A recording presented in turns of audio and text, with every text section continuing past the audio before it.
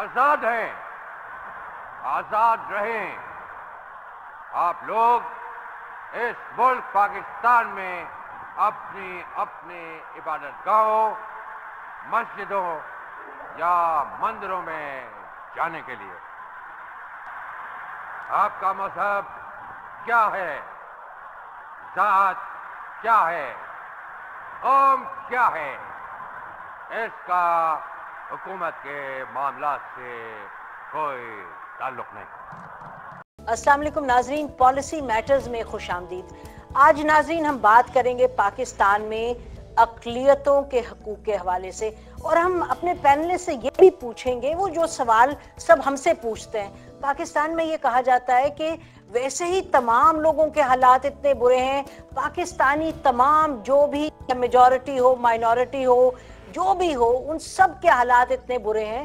تو آپ لوگوں کو اقلیتوں کے حقوق کی کیوں کر بات کرنے کی ضرورت ہوتی ہے؟ یاد رہے کہ پاکستان کن حالات میں بنا تھا؟ پاکستان جب بنا تھا، قائد اعظم محمد علی جناح نے جب سمجھا پاکستان بنانے کی ضرورت، جب انہوں نے دیکھا کہ ہمیں مسلمانوں کو ہندوستان میں بحثیت ایک اقلیت کے حقوق نہیں مل رہے تھے۔ ہمیں اپنے سیاسی حقوق نہیں مل رہے تھے اور ہمیں اپنے مذہبی اور ثقافتی حقوق نہیں مل رہے تھے۔ جو ہمارا پرچم ہے، ہلالی پرچم ہے، اس پر جو سفید ہے، وہ اقلیتوں کے حقوق کے حوالے سے۔ اور بارہا بہت سی باتیں قائد اعظم نے کی جو کہ اقلیتوں کے حقوق کے حوالے سے تھی۔ اور یہ بھی ہم کہتے چلے کہ جو جس مذہب سے ہمارا تعلق ہے، اس مذہب میں انسانیت کی اور انسانوں کی جو اہمیت ہے وہ بھی ڈھکی چھپی نہیں ہے۔ بہرحال ہمارے ساتھ ناظرین، ایک بہت آج اچھا پینل ہے، بہت اہم پینل ہے۔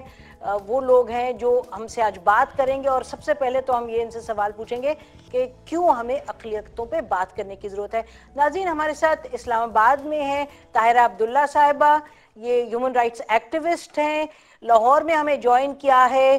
ابتسام الہی زہی صاحب نے، یہ مذہبی اسکالر ہیں اور سیکٹری جنرل ہیں۔ جمعیت اہل حدیث سے ان کا تعلق ہے۔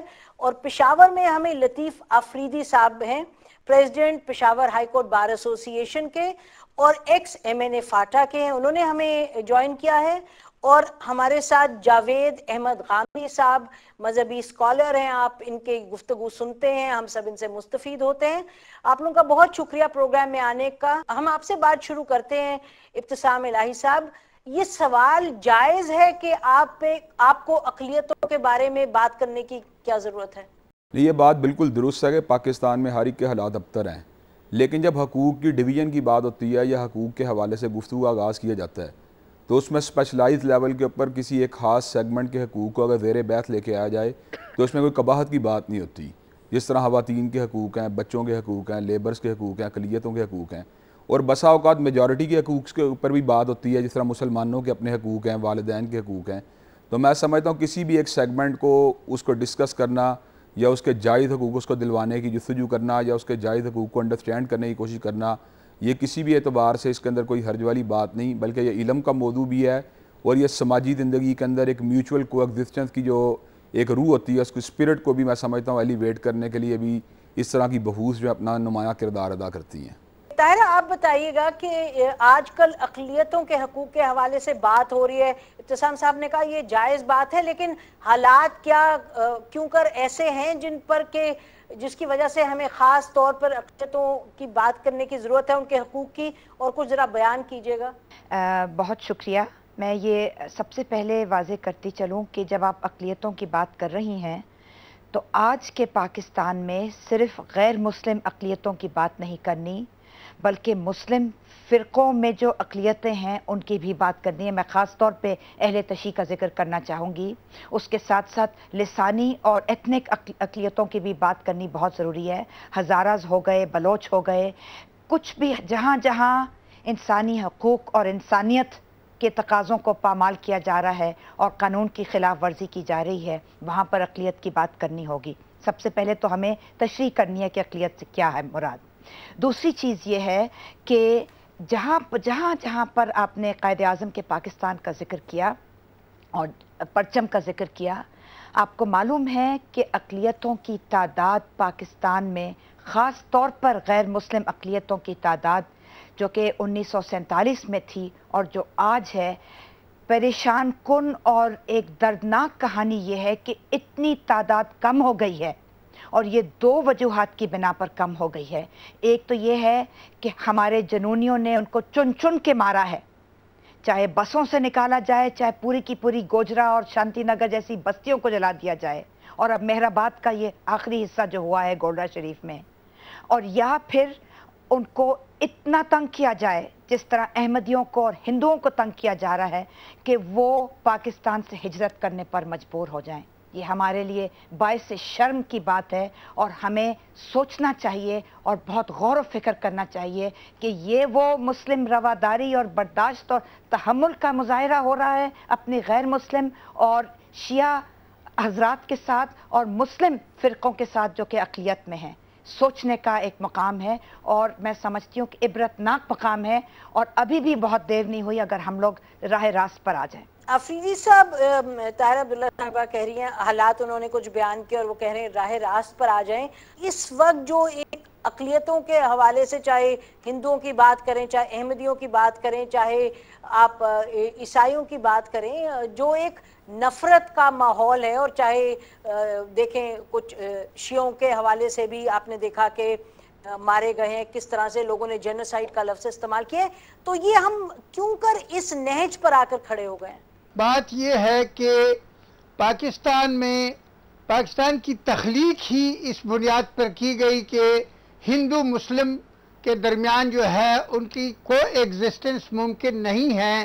اور اس وقت جو نفرت پیدا کی گئی، وہ نفرت اس کو بڑھاوا دیا گیا، وہ بڑھتا گیا، وہ بڑھتا گیا اور آج بھی بڑھ رہا ہے۔ تو جس ملک میں نفرت ہی ہر بات کی بنیاد بنے مسلمانوں کے درمیان بھی فرقوں میں نفرت ہے۔ مسلمانوں کے درمیان نئے نئے قسم کے فرقے بنائے جا رہے ہیں۔ اور جو اقلیتیں ہیں، جن کو ہم اقلیتیں، مثلا ریلیجس اقلیتیں ہیں ہندو ہیں کرسچنز ہیں، اور کوئی ہے، اور تو میں سمجھتا ہوں کہ ان کے لیے تو کیا پاکستان میں جو اہل تشیح ہے، خود مسلمانوں کا ایک بڑا سیکشن ہے، پاکستان کی آبادی کا بہت بڑا حصہ ہے کم از کم چوتھا، ایک چوتھائی آبادی ہے، ان کے لیے زندگی جو ہے پاکستان میں تنگ کی جا رہی ہے۔ اور نتیجہ یہ ہے کہ آج ملک کونے کونے میں کہیں سے ہندو ہجرت کر رہے ہیں، کہاں اہل تشیح پہ حملے ہو رہے ہیں، کہیں بسوں سے نکال کر لوگوں کو قتل کیا جا رہا ہے، کہیں ہزارہ جو اقلیت ہے ان کو چن چن کے قتل کیا جا رہا ہے۔ اور یہ کوئی اس قسم کی کوئی بات نظر نہیں آتی۔ کہ یہ دائرہ مزید وسیع نہیں ہوگا۔ ہمارے یہاں سینکڑوں لوگ جو ہے ان کو جانوروں کی طرح ذبح کیا گیا مذہب کے نام پہ۔ ان کا کسی جی کی بات ہم نے سنی۔ غامدی صاحب سے جی افریدی صاحب۔ غامدی صاحب سے ہم پوچھتے ہیں۔ غامدی صاحب بہرحال دیکھیے جب پاکستان بنا ہے تو یہ نفرت کی بنیاد پر تو نہیں بنا۔ پاکستان میں آپ نے دیکھا قائد اعظم نے تو آخری وقت تک کوشش کی کہ ساتھ مل کے رہا جائے۔ حقوق پاکستانیوں، اس وقت مسلمانوں کو ملے، سیاسی حقوق نہیں ملے تو جب پاکستان بنا، ابھی ہم نے بات بھی کی کہ جو پاکستان کا آئین ہے اور قائد اعظم کے اپنے بھی جتنے دیکھیں جو کال ہیں اس سے ہمیں صاف دکھائی دیتا ہے کہ یہ بہت ایک اہم نکتہ تھا کہ نفرت نہیں، ایک محبت، بھائی چارے کی بنیاد ہی پر پاکستان بنا تھا۔ تو یہ آپ لطیف آفریدی صاحب جو کہہ رہے ہیں، آپ اس کے بارے میں کیا کہیں گے؟ پاکستان کی تحریک ایک سیاسی تحریک تھی اور سیاسی تحریکیں حقوق کی جد و جہد بھی کرتی ہیں، قوموں کو بیدار بھی کرتی ہیں اور بعض اوقات ایسے جذباتی پہلو بھی نمایاں کر دیتی ہیں جو مختلف گروہوں کے مابین نفرت یا محبت کا باعث بنتے ہیں۔ اس طرح کی چیزیں ہر تحریک میں ہوتی ہیں، لیکن بحثیت مجموعی اگر آپ دیکھیں تو قائد اعظم نے کوئی گروپ منظم کر کے اکثریت کے خلاف بم نہیں چلائے تھے۔ انہوں نے تشدد کا طریقہ اختیار نہیں کیا تھا، سیاسی جد و جہد کا طریقہ اختیار کیا تھا۔ اپنی بات قانون اور ضابطے کے ساتھ اچھا غامدی صاحب آپ بہت اہم بات فرما رہے ہیں۔ آپ جد و جہد کی نوعیت پر بات کر رہے ہیں جس کے بنیاد آپ کہہ رہے ہیں کہ ایک نفرت نہیں تھی اور اشتعال انگیزی نہیں تھی۔ ابھی ناظرین ہم ایک بریک لیتے ہیں اب ہمارے ساتھ رہیے گا۔ اس گفتگو کو ہم ادھر ہی سے جاری کریں گے۔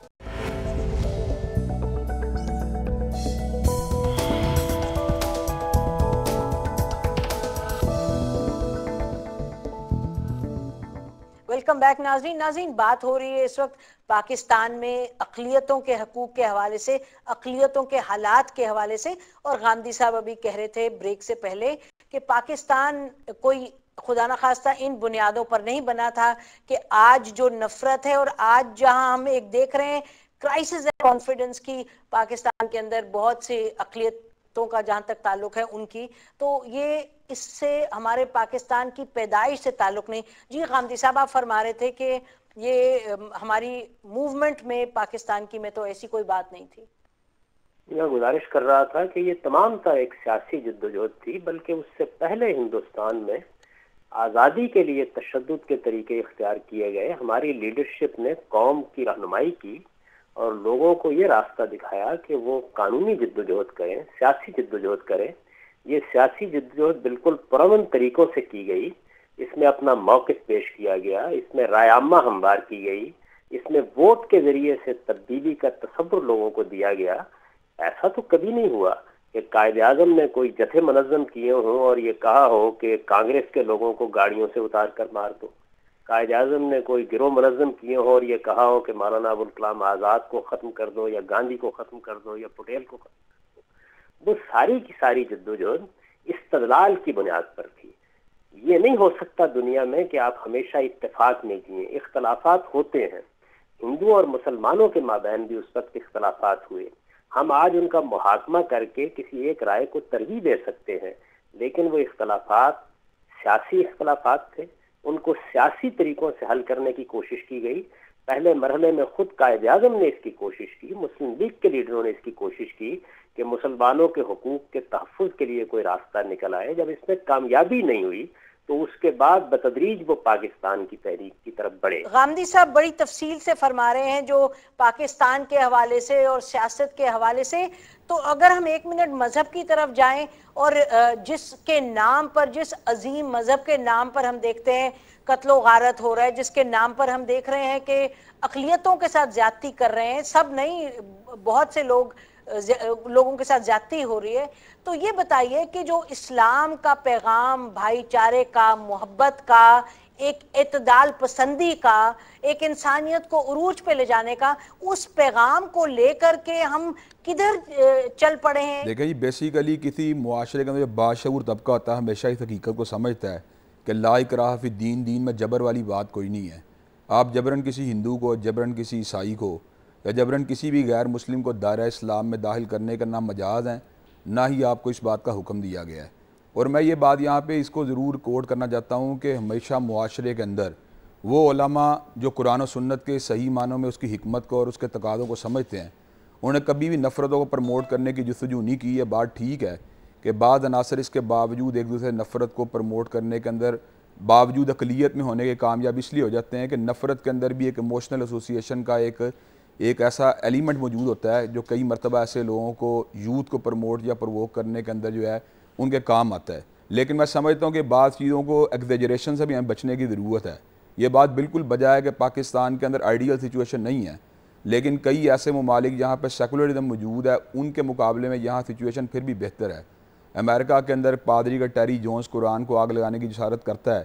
تو مسلمان کبھی بھی انجیل مقدس کے بارے میں یا ویدوں کے بارے میں اس طرح کی جسارت کرنے کا تصور بھی نہیں کر سکتے۔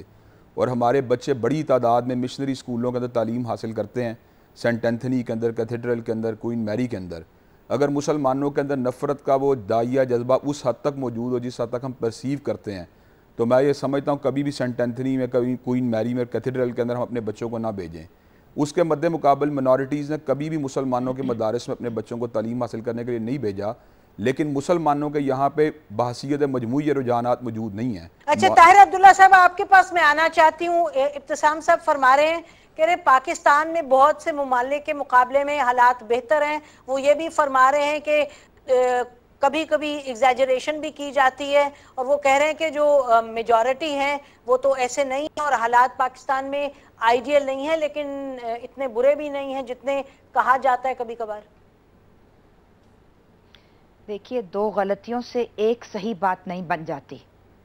اگر وہاں غلطیاں ہو رہی ہیں تو یہاں یہاں ٹھیک ہے۔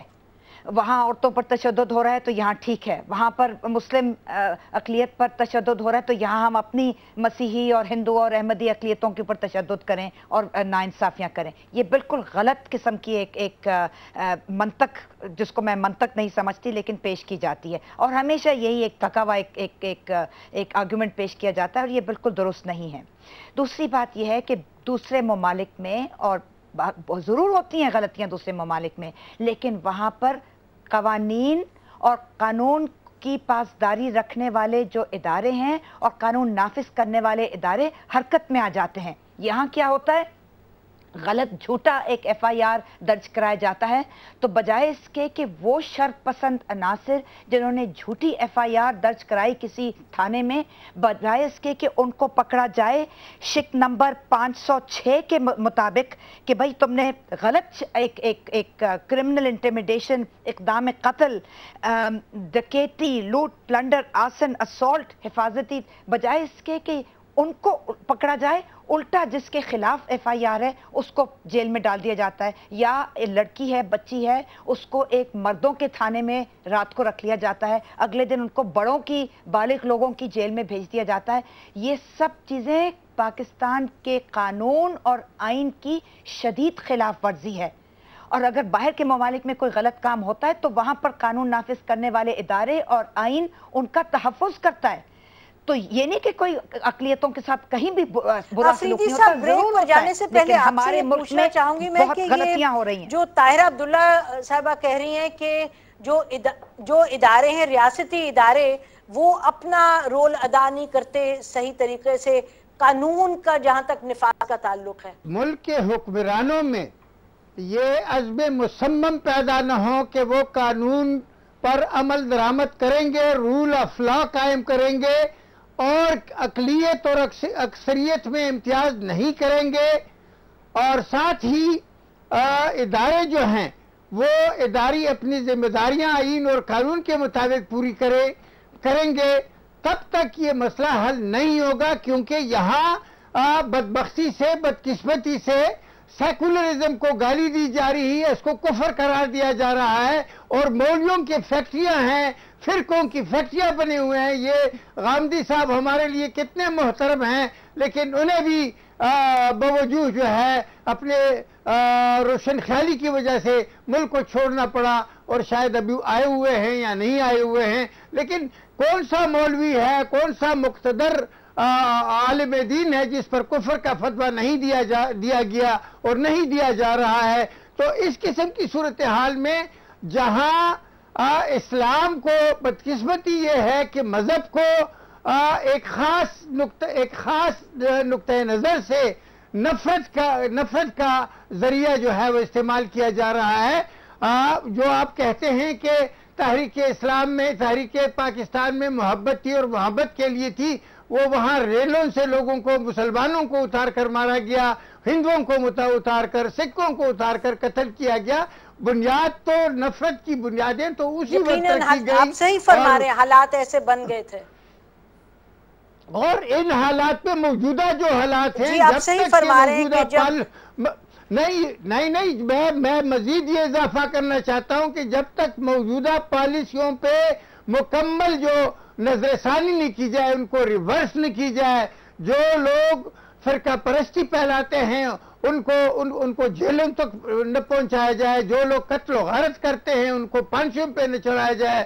جو لوگ اقلیتوں کو ڈراتے خوفزدہ کرتے ہیں جب تک ان کے ہاتھ نہ روکے جائیں تب تک صاحب یہ مسئلہ بڑھتا جائے گا بڑھتا جائے گا۔ اور مجھے تو میں میں میں کوئی پیسمسٹ نہیں ہوں لیکن مجھے تو کوئی روشنی نظر نہیں آتی بدقسمتی سے۔ ناظرین، اس پوائنٹ پہ ہم ایک بریک لیتے ہیں، جو آفریدی صاحب کہہ رہے ہیں، بہت سے لوگ یہ کہتے ہیں، لیکن ہمیں پھر اس پر یقین ہے کہ انشاءاللہ پاکستان میں جو مسائل ہیں، پاکستان ہی کے اندر سے ان مسائل کی جو سلوشن ہے، اس مسائل کا جو حل ہے، وہ نکلے گا انشاءاللہ۔ بریک ابھی ہم لیتے ہیں، ناظرین، آپ ہمارے ساتھ رہیے۔ بریک کے بعد اسی گفتگو کو ہم جاری رکھیں گے۔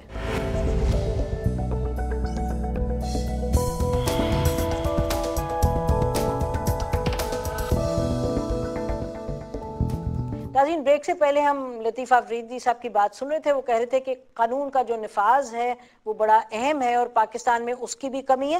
انہوں نے پالیسیز کی بھی بات کی۔ ابتسام صاحب، یہ بتائیے گا کہ دیکھیے ہمیں یہ لگتا ہے کہ جو مذہب ہے، جو قرآن پاک ہے، اس کی جتنی بھی اس کے بارے میں بات ہو، جتنے بھی مذاہب کے لوگ اس کو اپنائیں، اس کو پڑھیں، اس کو سمجھیں تو اتنا ہی اسلام کے لیے بہتر ہے، اتنا ہی ہم ہم نے تو یہی سیکھا ہے۔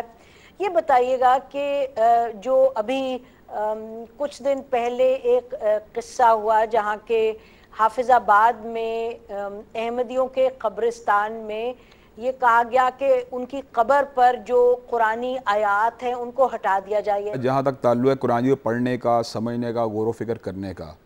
اس کا حق تو پوری دنیا کے تمام مذاہب کے پیروکاروں کو ہے، عیسائیوں کو بھی ہے، یہودیوں کو بھی ہے، احمدیوں کو بھی ہے، بھائیوں، بابیوں کو بھی ہے۔ اس حق سے تو دنیا کے اندر انہیں کوئی محروم نہیں کر سکتا۔ لیکن جہاں تک تعلق ہے مسلمانوں کے پرٹیکولر مذہبی شعار کو استعمال کرنے کا، جس طرح اذان کا لفظ ہے یا مسجد کا لفظ ہے یا قرآن مجید کے اس جگہ پہ پڑھنے پڑھانے کا تعلق ہے، جس کا تعلق خاص مسلمانوں کے اسپیشلائز ایکٹ کے ساتھ ہے۔ تو میں یہ سمجھتا ہوں یہ فقہی ایک مسئلہ ہے۔ اور اس مسئلے کے اندر چونکہ انہیں غیر مسلم اقریت قرار دیا گیا اور اس کے اندر ایک مشابت کی کیفیت پیدا ہوتی ہے، تو اگر ان کو اس بات سے روکا گیا تو میں سمجھتا ہوں اس کے اندر کوئی ان کے بنیادی حقوق جو ان کو تلف نہیں کیا گیا، نہ ان کے بنیادی حقوق سے سلب ہو رہے ہیں۔ تو اس معاملے کو میں سمجھتا ہوں فریڈم آف تھاٹ یا فریڈم آف ریلیجن کے باب میں نہیں لے کے جانا چاہیے، بلکہ چونکہ ایک فقی مسئلہ اور اس کے اندر یہ التباس کی کیفیت پیدا ہوتی ہے، تو میں سمجھتا ہوں اس کو اوائڈ کرنے کے لیے انہیں بھی اس مسئلے میں کوآپریشن کرنی چاہیے۔ اور باقی رہی بات رہنمائی حاصل کرنے کی معلومات حاصل کرنے کی قرآن و سنت کو پڑھنے کی تو اس حق سے تو آپ دنیا کے اندر کسی کو بھی محروم نہیں کر سکتے۔ اچھا یہ بتائیے گا گاندھی صاحب آپ کیا فرمائیں گے اس کے بارے میں؟ ہمارے ہاں یہ قوانین بن چکے ہیں۔ ایک گروہ کو ہم نے اقلیت قرار دے کے غیر مسلم ڈکلیئر کر دیا ہے۔ اب ہم یہ کہتے ہیں کہ وہ اپنے آپ کو مسلمان کہہ نہیں سکتے۔ وہ اپنی عبادت گاہ کو مسجد نہیں کہہ سکتے۔ وہ اس پر اگر اشد اللہ الہ الا اللہ یا اشد اللہ محمد رسول اللہ لکھیں تو نہیں لکھ سکتے۔ یہ ہمارے ہاں قوانین بن چکے ہوئے ہیں۔ میں ان قوانین کو سر تسر غلط سمجھتا ہوں۔ ہمیں یہ حق یقیناً تھا کہ ہم ان کے بارے میں یہ کہیں کہ ہم انہیں مسلمان نہیں سمجھتے۔ جس طرح دنیا میں کسی کو بھی حق حاصل ہے کہ وہ کسی کے بارے میں کوئی رائے رکھتا ہے تو وہ رائے دے، اس کو قانون کا حصہ بھی بنایا جا سکتا ہے اگر حالات کا تقاضا ہو۔ لیکن کسی دوسرے کو اپنے نقطۂ نظر کے اظہار سے کیسے روکا جا سکتا ہے؟ یہ ابھی احتسام صاحب نے جو بات فرمائی ہے، یہ میری سمجھ میں نہیں آئی کہ اگر ایک شخص قرآن پڑھنا چاہتا تو پڑھ سکتا ہے۔ وہ قرآن کو ہاتھ میں لے کر اسے اپنی آنکھوں سے لگائے تو ہم یہ کہیں گے کہ یہ ہمارے شعر میں سے ہے۔ اگر وہ قرآن مجید کو اپنے گھر میں رکھے تو ہم یہ کہیں گے کہ یہ کتاب تم نے کیوں رکھی ہوئی ہے؟ اگر وہ قرآن کی کوئی آیت لکھ کر اپنے دروازے پر لگا دے تو ہم یہ کہیں گے کہ تم نے کیوں لگا دی ہے؟ نسیم دورہ صاحب میں چھوڑا اس بات کا جواب دینا چاہوں گا تھوڑا اس گزارش یہ ہے ہمیں ان قوانین کو بھی دیکھنا چاہیے۔ ہمیں یہ حق حاصل ہے کہ ہم کسی کے بارے میں کوئی رائے قائم کریں لیکن دوسرے کو حق حاصل ہے کہ وہ اپنے نقطہ نظر کا جس طرح چاہتا ہے اظہار کرے۔ یہ حق اس کو خدا نے دیا ہے۔ اگر کل مسیحی یہ کہیں کہ تم مسیح علیہ السلام کا نام نہ لیا کرو تم انہیں اپنا پیغمبر نہ کہا کرو اس سے ہمارے ساتھ التباس پیدا ہوتا ہے تو ہمارا کیا رد عمل ہوگا؟ تو میرے نزدیک میں ہمیشہ سے یہ رائے رکھتا ہوں کہ مسلمانوں کو حق حاصل تھا اور اس جی ابتسام سب فرمائیے۔ جی میں یہ بات سمجھتا ہوں کہ دیکھیں ایک موقع ایسا ہے جہاں پر مسیحی برادری نے اس بات کا مطالبہ کیا کہ ہمیں عیسائی کی بجائے مسیحی کہا جائے۔ حالانکہ ہمارے لیے دونوں نام جو تھے گلوریفائڈ تھے، لیکن ہم نے عیسائیت کی ٹرم کی بجائے مسیحیت کی ٹرم کو اس لیے پریفر کیا کہ اس سے ان کی دل شکنی جو ہے نہ ہو، بلکہ وہ جس ٹرم کو بہتر سمجھتا ہیں اس کو استعمال کریں۔ کیونکہ یہ آئینی طور پہ ایک طے شدہ مسئلہ ہے، جس کے اندر گامدی صاحب یہ بات فرما رہے ہیں کہ اس کے اندر نظر ثانی جو ہونی چاہیے۔ میں اس میں نظر ثانی کا اس لیے قائل نہیں ہے قائل اس لیے نہیں ہوں کہ بنیادی طور پہ ایک طرف تو آپ قوانین کی امپلیمنٹیشن ان کی بالادستی کی بات کرتے ہیں، دوسرے التباس کی بات بھی وہیں شروع ہو جائے۔ مثال دے رہا ہوں، اگر آپ اپنے مسجد کو گرجا گھر کرا دینا شروع کر دیں یا اپنی مسجد کو مندر کہنا شروع کر دیں، تو ظاہری بات ہے ہمیں اس بات کا حق نہیں ہے۔ ہر قوم کے، ہر مذہب کے اپنے اپنے شعار ہوتے ہیں۔ باقی عیسائی اگر اپنے گھر میں قرآن پڑھنا چاہتے ہیں یا احمدی اپنے گھروں کے اندر قرآن پڑھنا چاہتے ہیں، ہمیں اس بات سے کوئی اعتراض نہیں ہے، وہ سے رہنمائی حاصل کریں۔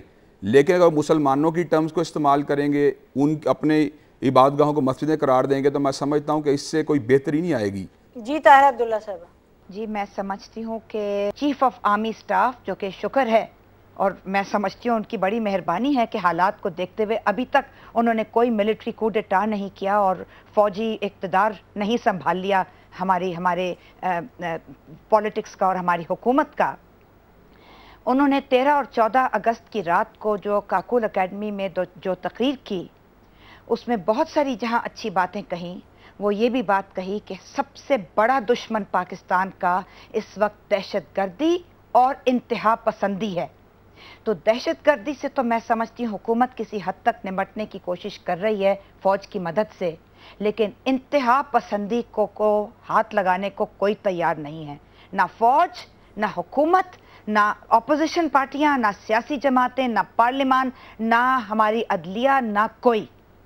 ہم میں سے جو لوگ بات کرتے ہیں ان کو بے دردی سے قتل کر دیا بریک کا وقت ہو گیا ناظرین ہم اس وقت بریک پہ جاتے ہیں اور یہ جو انہوں نے بات کی ہے طاہرہ عبداللہ صاحبہ نے کہ جہاں تک انتہا پسندی ہے اس کو کوئی ہاتھ لگانے کو نہیں راضی۔ اس پہ ہم بات کریں گے۔ بریک کے بعد اس گفتگو کو جاری رکھتے ہیں۔ اب ہمارے ساتھ رہیے گا۔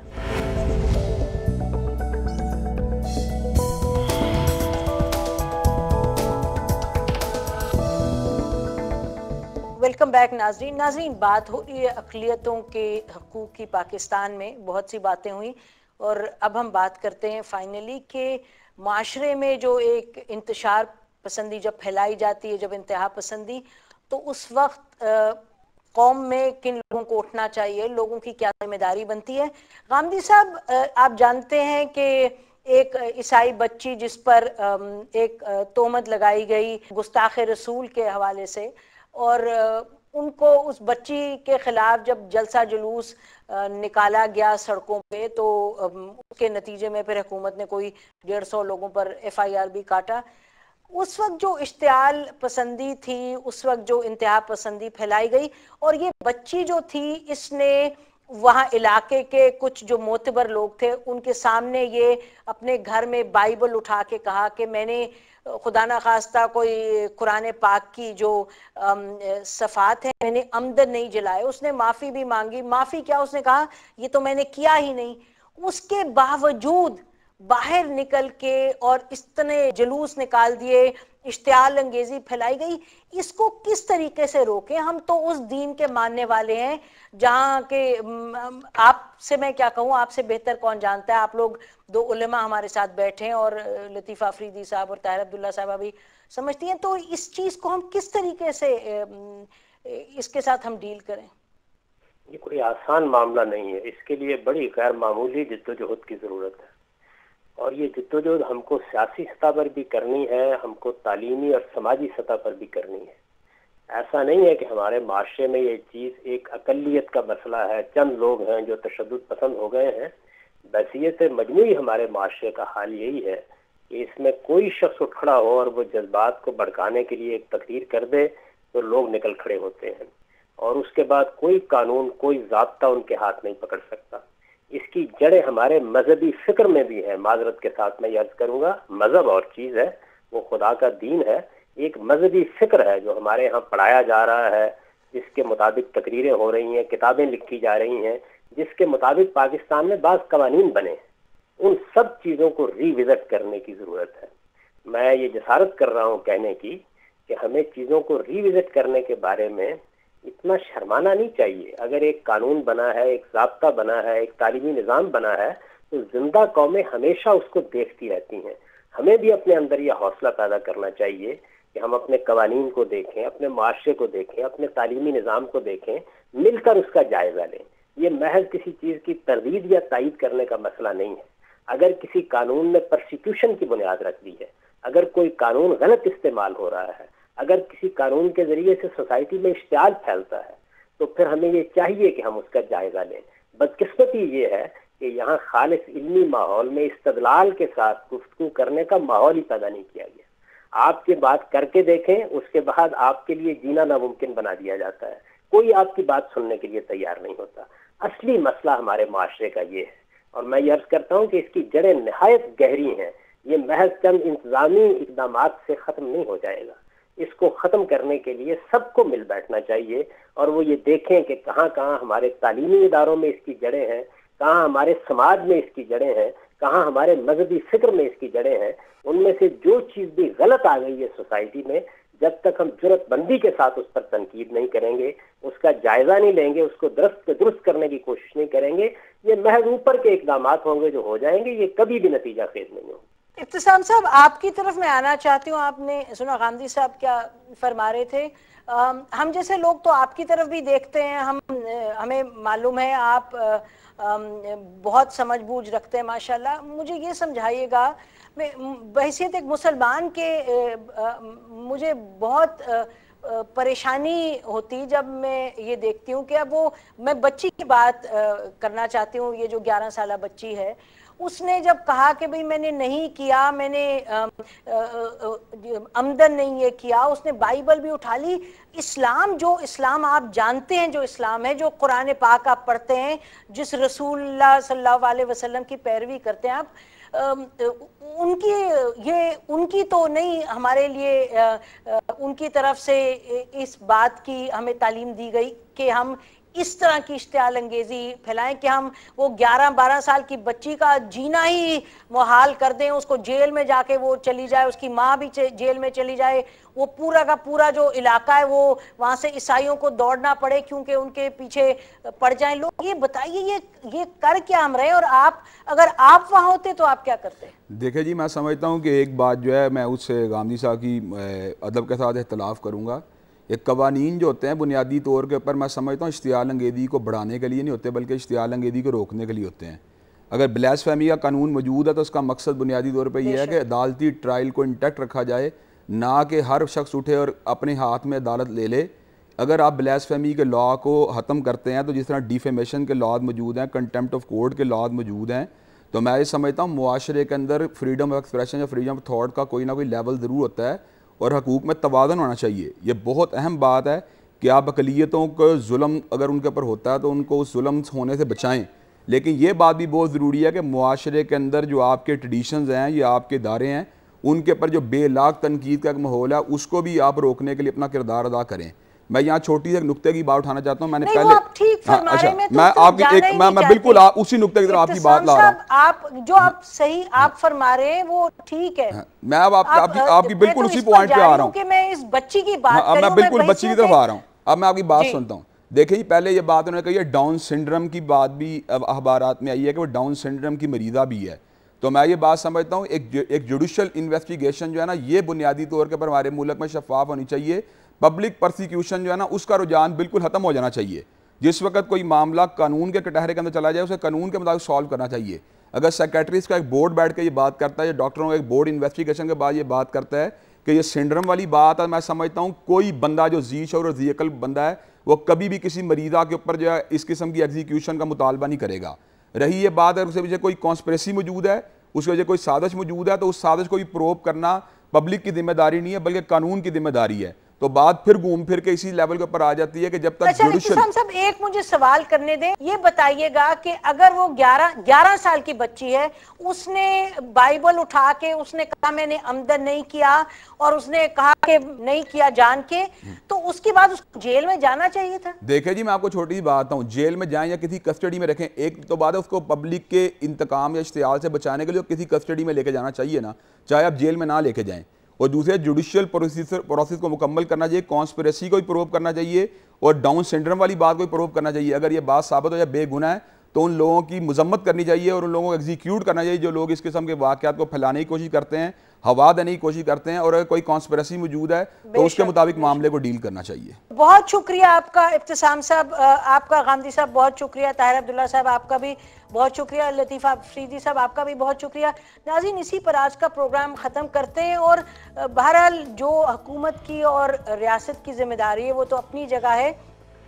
لیکن ہم آپ کو یہ کہتے چلیں کہ جب آپ اگلی مرتبہ باہر ہوں اور کوئی اس طرح کا مسئلہ اٹھے اور کوئی اشتعال انگیزی پھیلائے، تو آپ یہ یاد رکھیے گا کہ آپ کا کس مذہب سے تعلق ہے، آپ کا کس کانسٹیٹیوشن سے تعلق ہے، آپ کا کس کس کے آپ پیروکار ہیں، یہ ہمارا تو مذہب وہ مذہب ہے جس نے کہ یہ چاہا کہ ہم انسان کو اشرف المخلوقات کہا، یہ کہا کہ آپ شاہین کی طرح پرواز کریں گے، آپ انسانیت کے جو عروج ہے اس تک پہنچیں گے۔